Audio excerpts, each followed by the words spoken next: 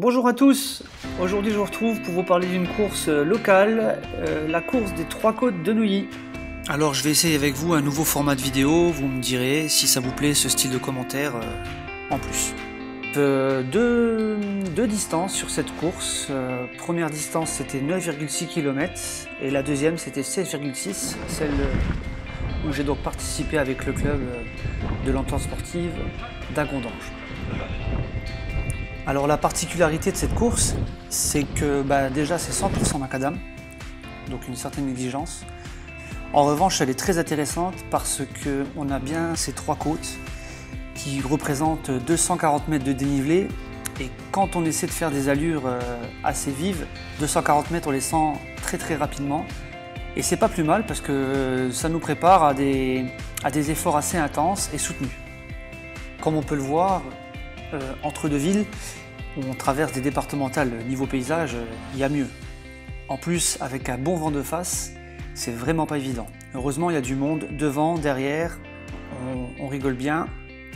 Et puis, quand on arrive dans les villages comme ça, comme Nouilly d'ailleurs, quand on arrive là, ben, il y a toujours une bonne humeur. Petite remarque, nous, on est là pour faire du 5 minutes 30 au kilomètre. En montée, ça sera plus doucement, en descente, ce sera plus rapide, mais ce sera du 5,30 qui est dans l'ordre de notre prépa. Ça y est, le premier faux plat est bien présent. C'est la sortie de Nouilly. Donc on rigole, on fait les malins au début, ça c'est sûr. Mais il va falloir justement ne pas se cramer, ne pas courir vite dès le départ. Enfin, ça c'est ce que je peux vous conseiller. Maintenir son allure. L'idée, c'est vraiment pas de marcher dans la côte. Il y en a qui commençaient déjà à marcher. Ça montre vraiment un, un effort trop conséquent pour un début de course. Voilà, nous on rigole encore, donc on, on, on, se maîtrise, on se connaît et on essaie de maintenir un peu cette allure euh, soutenue, mais pas trop trop rapide encore.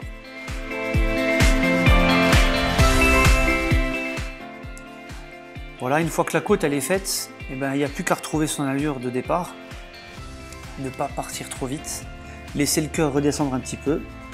Un ravitaillement, ben voilà, ça fait du bien. Bon, pas forcé de, de s'arrêter, hein. ça fait 5-6 km qu'on court, il n'y a vraiment pas l'utilité de s'arrêter, mais bon, nous on est là en prépa marathon, on se prend pas la tête, on se fait plaisir. Et puis le gobelet, bien sûr, ben, on le jette dans la poubelle et pas par terre, c'est plus sympa. Et on repart tranquillement, petite foulée, sans pour autant accélérer euh, comme des fous. Alors là, ce que je monte du doigt, c'est en fait euh, cette, cette, petite, euh, cette petite ligne colorée sur le côté de la route. C'est assez sympathique à regarder. Il y a vraiment toutes les couleurs. Avec un temps grisâtre comme ça, ça apporte aussi une petite touche de bonne humeur. Voilà, on peut voir, nous on se crame pas, hein. on est bien, on est à l'aise, on est dans notre, dans notre endurance fondamentale, nos fameuses 5 minutes 30, et on déroule et un petit chemin, un petit single sympathique pour couper entre deux villages. Ça, c'est appréciable. On arrive vers Noiseville. Alors là, c'est Odile. Odile, elle est aveugle et elle court avec euh, Henri et qui, euh, qui, pour la première fois, accompagne Odile. Alors c'est euh, marrant parce que c'était presque Odile qui checkait, qui drivait Henri et pas l'inverse. C'est impressionnant comme elle a la forme et ça m'intéresserait vraiment de, de, de participer à une course avec elle. Vraiment très agréable moment.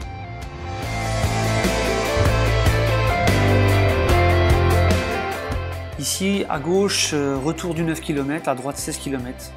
Encore une fois, c'est sympathique de pouvoir démarrer en même temps. Il y a des courses qui démarrent plus tôt pour le, pour le, le 16 et ainsi de suite. Plus la course est courte, plus le départ est tardif. Bon là, c'est quand même plus sympa. Alors je sais pas si vous avez vu là, mais en fait, il y avait le, le premier qui, qui repassé parce que ça fait, ça fait une boucle et je trouve ça assez sympathique de pouvoir euh, voir les, premiers passer. Moi, j'avais jamais vu ça.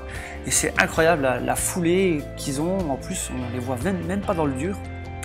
Ils sont vraiment, euh, je dirais pas très à l'aise, mais on voit vraiment qu'ils maîtrisent leur, euh, qu'ils maîtrisent leur foulée, leur capacité. Ils se connaissent. Voilà, ça c'est le troisième qui passe. C'est assez sympathique.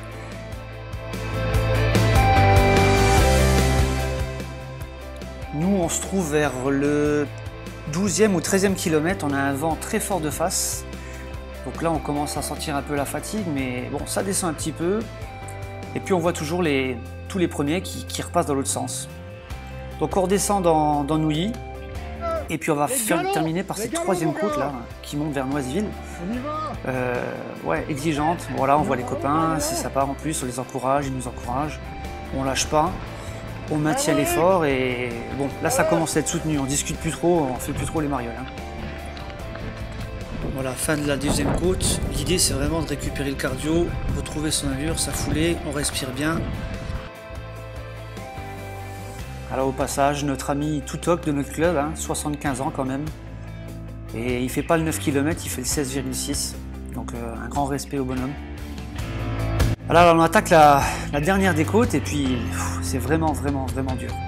Là faut maintenir le niveau et du coup j'ai raccroché Romain euh, avec qui je ferai certainement le marathon de Paris et voilà quoi, on se tient, on, s'accroche, on, lâche pas. Et enfin on arrive euh, vers la ligne d'arrivée tant attendu. On a quand même le sourire parce qu'on est content, le taf est fait. Je vous laisse euh, regarder la fin. Sinon, moi je vous dis à très bientôt. J'espère que ce format un peu spécial vous aura plu. Si ça vous a plu, dites-le moi. Et puis je vous retrouve pour de nouvelles aventures, des conseils, des courses. Euh, plein de bonheur. Ciao